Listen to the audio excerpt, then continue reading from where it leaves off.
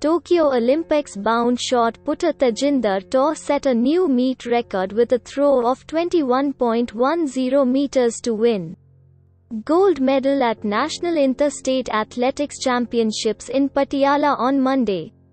Meanwhile, javelin thrower Annu Rani won gold by setting a new meet record of 62.83 meters.